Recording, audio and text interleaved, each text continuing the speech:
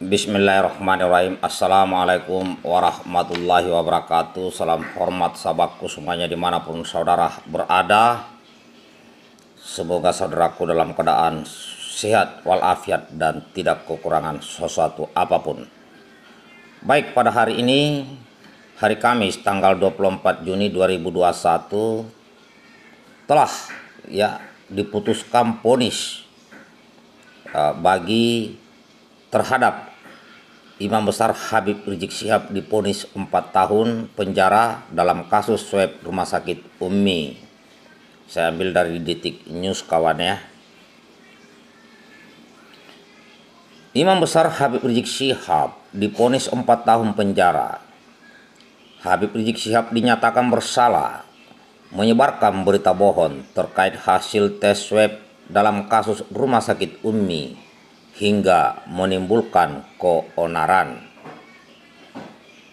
Mengadili menyatakan terdakwa Muhammad Rizik Syihab terbukti secara sah dan meyakinkan bersalah melakukan tindak pidana turut serta menyebarkan berita bohong dengan sengaja mengakibatkan keonaran.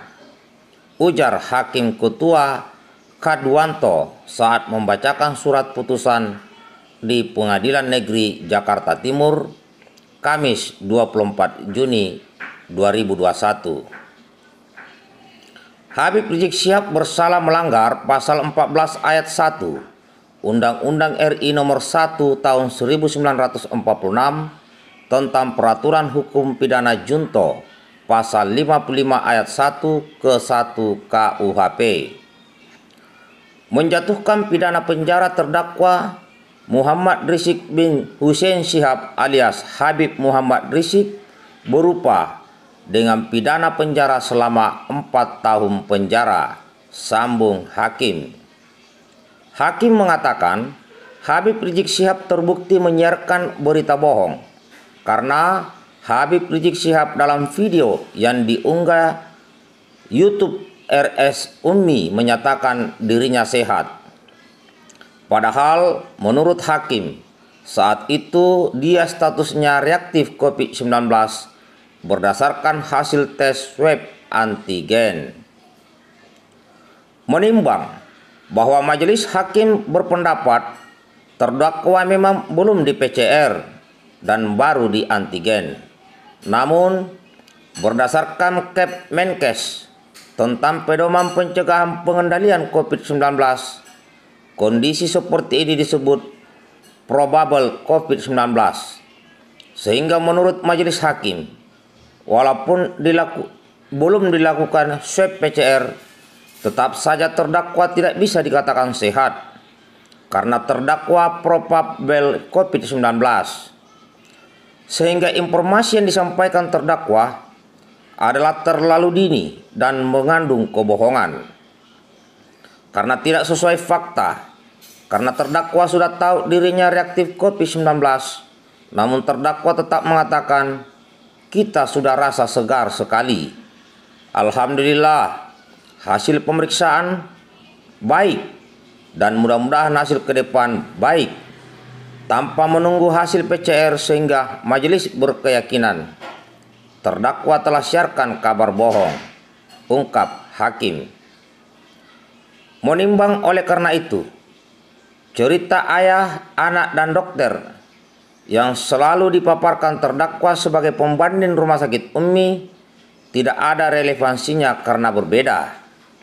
Menimbang dengan demikian unsur menyebarkan berita bohong telah terpenuhi. Tegas Hakim. Hakim juga menyebut pernyataan Habib Rizik Syihab Habib Hanif Alatas dan Dirut Rumah Sakit Umi, Dr. Andi Tatat yang menyatakan kondisi Habib Rizik Syihab baik-baik saja telah menimbulkan kegaduhan di masyarakat. Menurut Hakim, video yang disiarkan Rumah Sakit Umi masuk dalam kategori keonaran. Menimbang dari fakta tersebut, dari pernyataan terdakwa Habib Muhammad Hanif Alatas dan Dr. Andi Tatat timbul kegaduhan khususnya media sosial menjadi gaduh dengan pemberitaan sebelum perawatan serta sesudah perawatan. Serta ada demo dari Forum Masyarakat Pajajaran Bersatu. Serta ada berita terdakwa kabur dari rumah sakit. Menimbang terdakwa saat menyebarkan video itu seharusnya menyadari yaitu merupakan keonaran. Terlebih lagi, terdakwa tokoh besar dan mempunyai simpatisan sehingga sudah barang tentu menjadi sorotan masyarakat. Majelis hakim berkeyakinan apa yang dilakukan terdakwa masuk, masuk dalam kategori sengaja dengan kemungkinan menimbang unsur membuat keonaran masyarakat telah terpenuhi ucap hakim diketahui vonis lebih ringan dari tuntutan jaksa jaksa sebelumnya menuntut Habib Rizik Sihab dengan hukuman 6 tahun penjara Demikian sahabatku, situasi hari ini bahwa Imam Besar Habib Rizik Syihab diponis oleh hakim yaitu enam tahun penjara. Namun dalam hal ini uh, Imam Besar Habib Rizik Syihab ya beserta tim kuasa hukum akan melanjutkan dengan banding. Nah, di saat banding ini berarti belum final. Kita doakan saudara-saudaraku, kita doakan Imam Besar Habib Rizik Sihab menang dalam banding. Ya, inilah sidang yang terlama untuk Covid. Ya, mudah-mudahan di saat banding nanti semua orang sadar, semua orang bisa menyadari bahwa permasalahan ini adalah permasalahan protokol kesehatan yang juga seharusnya siapa pun yang melanggar protokol, kesehatan di negeri ini harusnya juga dia dipidana, disidang, dan dipenjara seperti yang dialami oleh Habib Rizik Sihab.